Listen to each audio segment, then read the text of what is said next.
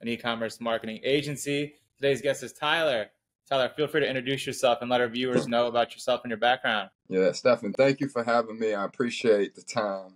It's always an opportunity to, you know, connect with others and uh, providing a platform for me to one connect with yourself first and two connect with your audience. That's a privilege. So thank you for having me. But uh, my name's Tyler Blake. I'm originally from Chicago. Right now, we're based out of Sioux Falls, South Dakota. That's where we run our creative agency. Started out as a streetwear clothing brand. I'm sure we'll get into all of that. But yeah, thank you for having me. Awesome, Tyler. Well, what what what inspired you to create your agency? So, you know, growing up in Chicago, the culture, streetwear culture, hip hop, house music, that has always been a part of my life ever since I was, I would say, from between age seven and nine is when I really started uh, developing a love and a passion for streetwear culture. But I've been building things my entire life ever since I could first start using using my hands. Um, yeah.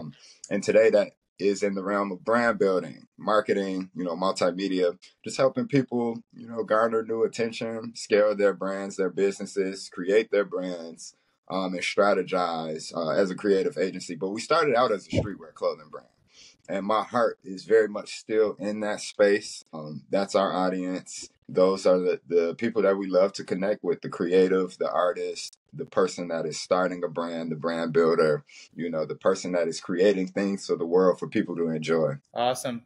Well, tell me more about your what you do as a brand. Yeah, yeah, for sure. So uh, we started out as a streetwear clothing brand late 2018 uh, Wake. That's the name of our brand. Uh-huh. And we still produce products here and there, but now our focus, as I mentioned, is in the space of serving others that are starting out brands, small size, medium sized businesses that are looking towards scaling, you know, marketing through a creative lens uh, with the creative eye. So that's how we serve people today. But starting out as a streetwear clothing brand late 2018 and, you know, scaling to shipping to 15 plus states across the country, uh, you know, international shipping, all of that. Throughout our process, you know, we realized that a lot of people would come to us, you know, just with the interest of starting our own brands and questions. So in the shadows throughout the years, we had always been doing consulting for other brands, other companies. And a year ago, we decided to just put that all under one roof. So, um, you know, starting out as a streetwear clothing brand and, you know, still starting up brands under our own roof. Uh, that's always fun. It's always a privilege to start new projects. But today, I, I find a lot of value in serving others and helping others along their journeys of creating things for the world. So uh, that's what we're all about. You know, just along our journey, starting to serve the individual on their path of self awareness, you know, developing a better relationship with themselves and, you know, just being their truest, purest, most authentic self uh, those are the people that our brand resonated with early on, but you know, today just spreading things out across the board and you know, creating things, helping others create things. You know, as I mentioned, it's just so much value in that. You know, just yeah. providing that that energy back to the world. Uh, it's what I wake up every day to do. Is is what drives me forward in life. So it's amazing. Who is your ideal target audience? So our ideal target audience, as I mentioned, um, is the fashion industry. You know, my wife and I, we both started up Wake uh, late 2018 together. Uh, she's originally from here, from Sioux Falls, South Dakota. I'm originally from Chicago, as I mentioned, and both of our upbringings were rooted very much in creativity. You know, just diving into those nuanced things and expressing them, whether through uh, my own personal style, you know, t-shirt design, hoodies, uh, you know, multimedia production, just a lot of different mediums of creativity and now expressing that through, you know, brand building, entrepreneurship and all of that. We very much connect with the person that is in the creative space, the artist, the fashion designer, you know, the you know, industrial designer, anything in terms of creativity, you know, those are the people that we connect with. Definitely.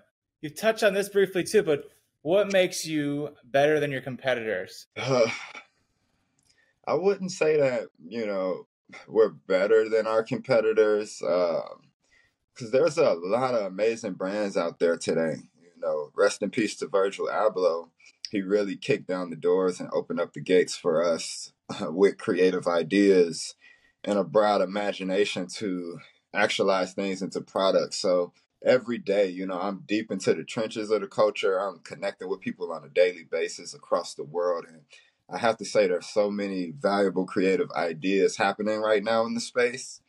Um, I think it all comes back to, you know, who we are as individuals. You know, it all comes full circle to that, how we want to see the world, the value we want to offer to the world, um, I would very much connect that to, you know, just being the most purest, authentic version of yourself. That's what's important. You know, we wouldn't have had a, a Ralph Lauren or we wouldn't have had a Steve Jobs if they weren't being the purest, most authentic form of themselves. So I would say that's what sets us apart. We're not in any of this to, you know, show up and just merely play the game. For us, it's an expression of who we are so I would say that's what sets us apart, you know, just staying authentic to ourselves always. Definitely. What's been the most successful thing you've done to promote your brand? Uh, t- to date, you know, aside from our brand as a whole, we start these uh, micro projects under our roof. And uh, right now, one of our most recent projects being Streetwear of Roses. It's a, a community and meta where we provide, you know, repurposed content, uh, original content, digital resources for people on their journey of building their brands.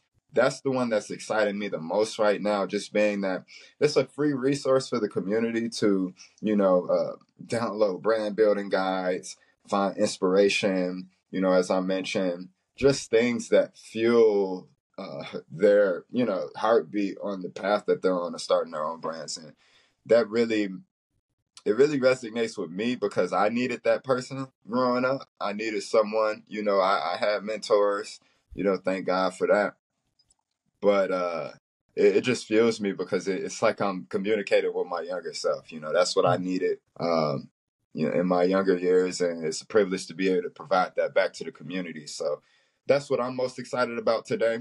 Uh, you know, just Streetwear of Roses, running that project and, you know, having it be a digital resource to the community, to the streetwear community. Definitely. Start starting a brand and starting an agency and being an entrepreneur. I'm sure you've had a few challenges. What are some challenges that you faced in the past few years and how were you able to overcome them? Early on, um, you know, when we started Wake, it's just a matter of getting up every day, you know, not looking left and right and, you know, um, I would say counting your losses fast because you, uh, on this path you find that none of us has it all figured out, and you know the faster we can learn from our mistakes, the faster we can move forward. I knew nothing about tariff codes, you know, import taxes, none of that starting a brand. And, you know, we, we did import early on. We still do. Uh, and we do things here domestically as well.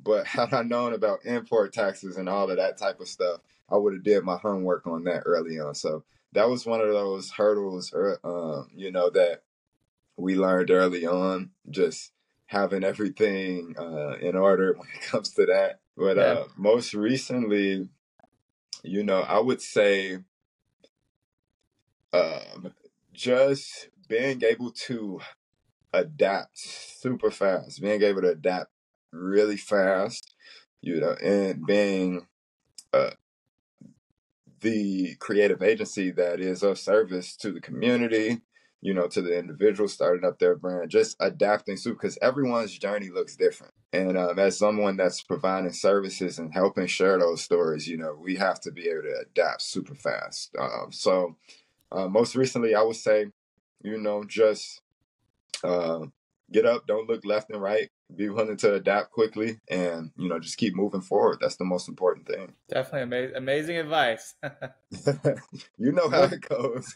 Definitely. What's what's the future plan for yourself and the brands? So you know, for the brand serving as uh, you know a creative agency, a house that houses all of these other um, brands, micro brands, streetwear brands, media brands, all of that, this sort of stuff a goal for ours would be to continue to serve the community at a larger scale. You know, our most recent project being Streetwear of Roses, we want that to continue to be a digital resource, you know, a media resource for people to find some of the tools that they need along their journey. So, scaling that project, producing more original content, connecting with more people through Streetwear of Roses, uh, you know, just opening the gates to that platform to be a, a source for the community to you know just find value and grow their own brands, connect with a new audience. Uh, that's what excites us the most right now. We have another one called Her Bossy Diaries that is geared towards serving, you know, women in the beauty and fashion industry. Mona Lisa,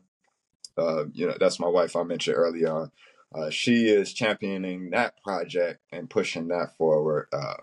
You know, my focus has been on, you know, uh, moving streetwear of roses forward. And we come together to push these platforms together and, you know, delegate tasks, um, you know, uh, just moving it ahead. You know, that would be our current goal right here, moving these platforms ahead and just opening the gates for people to imagine, dream, and, you know, make their goals a reality. That, that's, that's what fuels me every day because it, it's not about me. It's about you know the world being a better place and people finding you know better products, uh, better services, you know, and better mediums for creativity and you know, just making the world a better place. That, that's where our mind is today. I'm with you on that, Tyler. Yeah, yeah. Tyler, you know? I, I, uh, I, appreciate you coming on the WYTPod. Is there anything I yeah. haven't asked you that you want our viewers to know? Oh no, I appreciate you know just being able to communicate here and, and just you know shoot back and forth pretty quickly. It's always a amazing opportunity to you know connect with people like yourself, Stefan. We're both out here every day, you know, pushing the world forward, providing value, you know, just helping to serve lives. I think that's what it comes back to. So uh, I appreciate you know getting the opportunity to talk with you here. And, uh, you know, I'm looking forward to seeing more of what you all do on your end. You know, uh, Definitely. we, we all out here, you know, just moving exactly. things forward, doing great things for the world. So thank you. Definitely, Tyler. Thank you so much. Yeah, appreciate it. Take care.